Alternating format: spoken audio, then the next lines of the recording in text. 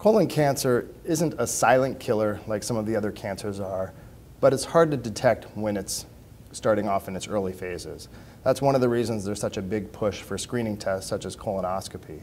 An early colon cancer may not have any symptoms. You may not notice even if it's having a small amount of bleeding. It won't cause any pain. It doesn't cause any obstruction.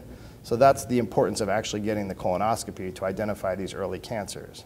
Now, if the colon cancer gets bigger, yes, it can cause symptoms. The actual mass in and of itself can block the stool from going through the colon and a patient can become obstructed. The bigger the tumor, the more surface area, and colon cancers like to bleed, so you, there can be a significant amount of blood loss if there is bleeding.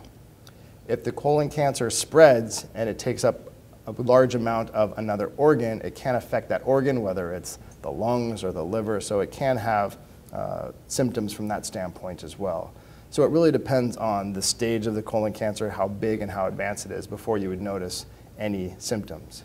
In terms of pain as a symptom, that's usually not one that you're going to find with colon cancer, at least not in the early stages, only when there's a big mass that could be growing into other organs. Uh, so pain is not typically one that we identify with colon cancer. For an interactive tool to learn more about your colon cancer and your personalized treatment options, go to mycoloncancercoach.org.